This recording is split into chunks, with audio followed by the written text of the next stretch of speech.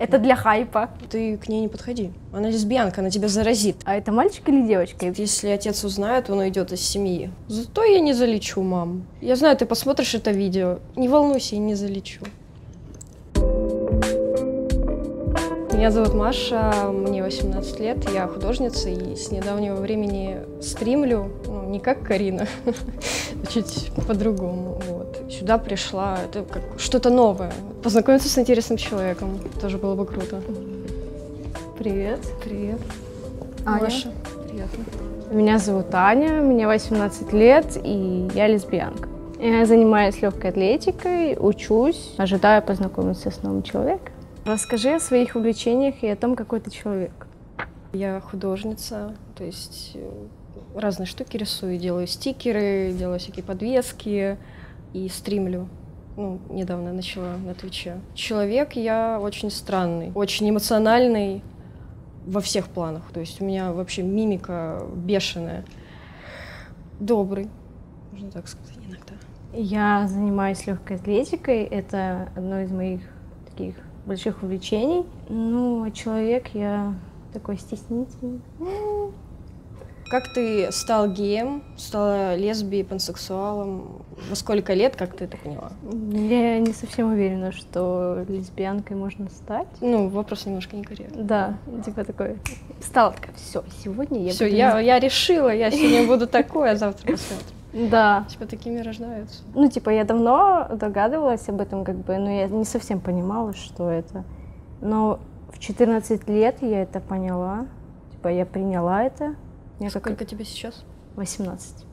Ну, как бы я тоже лет в 13 примерно осознала, что вот я вот такая. И до меня дошло, что я всю жизнь до 13 лет именно засматривалась на девушек. То есть не просто там, о, прикольно, а именно так, типа... Вопрос такой, конечно, некорректный немножко. Люди такими рождаются, если что. А знают ли твои родители о твоей ориентации? А, Мама знает. Как бы я ей призналась в 14. И она мне говорит, если отец узнает, он уйдет из семьи. Я такая, ну, блин, ну, что поделать. Ну, отец, не знаю, возможно, догадывается, но конкретно не знает. Мама принимает, и когда у меня девушка была, она нас, типа, можно сказать, любила и принимала. Это странно, конечно, я думала, такого в жизни не будет. Короче, как-то так. А, Мои родители знают, э, как бы я сказала себе, что если у меня будет первая девушка, то я типа сразу скажу родителям. Я сказала своей маме, думала, что будут проблемы со своей бабушкой, типа она очень верующая, и думаю, господи, типа только не это, богохульники. Да, и она мне сказала, что ну, она меня все равно любит, типа любой. Такая, типа, Ну, обратно не засунешь. ну, Такое дело. Если бы ты могла, что бы ты изменила в том, как тебя воспитывали? Мне кажется, я бы изменила то, что можно было воспитывать меня более самостоятельной и как бы поувереннее в себе. Но так мне вполне устраивает, как меня воспитывали. Я, наверное, хотела бы, чтобы родители как-то с детства показали, что вот ты в любой момент можешь прийти ко мне с любой проблемой, вообще с любой, и рассказать мне, поделиться чем-то. То есть они мне это говорили, но очень редко. С папой, то есть я вообще как бы привет, пока, доброе утро, спокойной ночи. С мамой, да, вот если прям вот капец какой-то в жизни наступает, я прихожу к ней. Хотелось бы больше таких доверительных отношений, потому что я много чего скрываю. Не потому, что это что-то очень жуткое, потому что я знаю, что мама распсихуется и там не пустит или куда-то. Если бы ты собиралась э, стать близким другом для человека напротив, что бы ты ему рассказала? Что он, по твоему мнению, должен о тебе знать? Неплохо, вот это вопрос. Но я собственник, я пытаюсь с этим бороться вообще всеми силами, то есть меня всю жизнь так, если человек мой, то не, не трогай его, не отойди, ну не дыши на него, пожалуйста. Потому что я всю жизнь мечтала, типа, что вот у меня будет один лучший друг, там, мы с ним вообще вдвоем будем везде и всегда. Так не бывает. И вот с этим чувством я как бы борюсь. Что я о тебе должна была бы знать, если Я даже не знаю. Я люблю Марвел. Окей. Я думаю, этого достаточно. А еще и феминистка. Это круто. Я стримила, зашла э, к одному стримеру, Дундуку. У него в комментах спрашивают, а правда, что Мариока, это мой псевдоним, феминистка? Он такой улыбится, сидит. Чистая правда. Я такая, блядь, что? Как ты это понял? Блин, как, чувак, ты всевидящее око? Он такой, ага. А что ты стримишь? Ля какая. Игры. Какие? Э, Escape from Tarkov. Это, короче, шутер, приближенный к реальности. Жестко. Ну, хоть не дота. Я никогда ну, не играла. Я пробовала, мне не, вка- не, не вкатывают такие игры. У меня детство прошло с братом.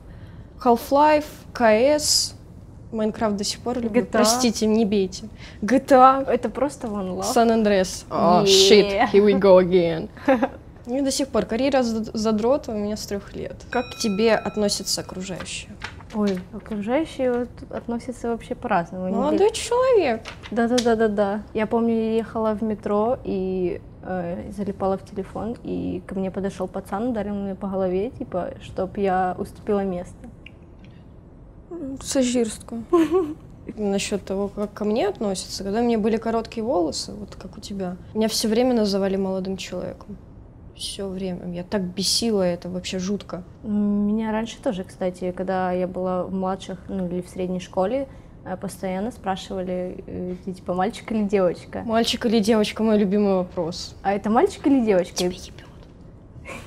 Я помню, как я только начала учиться в колледже, у меня тогда были короткие волосы, я тогда подстриглась, уломала маму, она мне очень долго не разрешала, очень. Я подстриглась, начала быть такой, знаешь, уверенной, такой, ух, сука, не подходи. И там была в параллели одна девочка, которая новенькая говорит, ты к ней не подходи. Она лесбиянка, она тебя заразит, ты вообще вот держи расстояние, не подходи. Потом, через какое-то время эта же девочка рассказывает, слушай, я была влюблена два месяца в рыжего мальчика. Потом оказалось, что его зовут Маша. Какая Судьба? жизнь. Я долго вела свой инстаграм, э, все думали, что я парень, типа я разговаривала в мужском роде, э, со своей бывшей девушкой мы говорили, что типа мы геи, Ну, ты же с короткими была? да, ну типа и моя девушка тоже, я была Женей, она была Матвеем, типа и это очень долго продолжалось, где-то полгода, и люди вообще, ну типа их вообще ничего не смущало, не то, что у нас голос, как будто нам по пять лет, а потом, э, когда я уже типа сказала, что я девушка, э, мне сказали, что это фотошоп, что у тебя нет груди. Типа, а как ты грудь прятал? Это монтаж. Это- Ребят, Фотошоп. да, Это для хайпа. да. Ты врешь. У тебя был опыт отношений с противоположным полом? Да, был. Это было очень странно. Типа, как бы я общалась с девушкой, которая типа мне нравилась. У нее уже были типа парни, и я такая, типа, ну, надо мне что-то подыскать.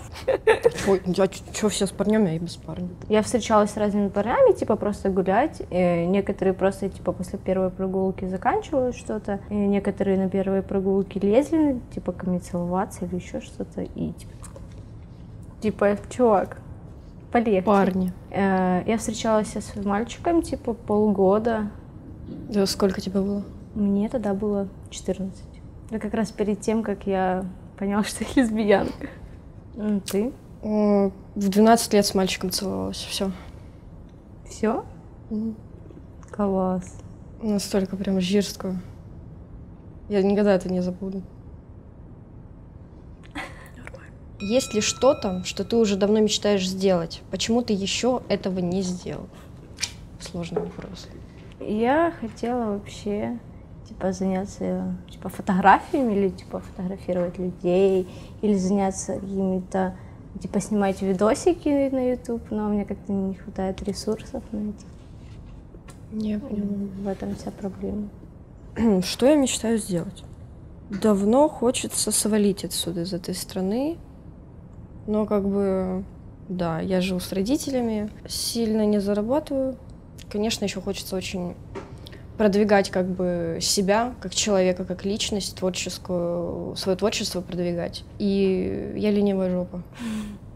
Как бы нужно в первую очередь бороться с ленью. Что в отношениях для тебя на- наиболее ценно? Верность и честность. Я не представляю, как можно врать э, любимому человеку в отношениях. И как можно изменять тому, кого любишь. Да, То я- есть, если ты изменяешь, то, как бы, мне кажется, ты не любишь этого человека.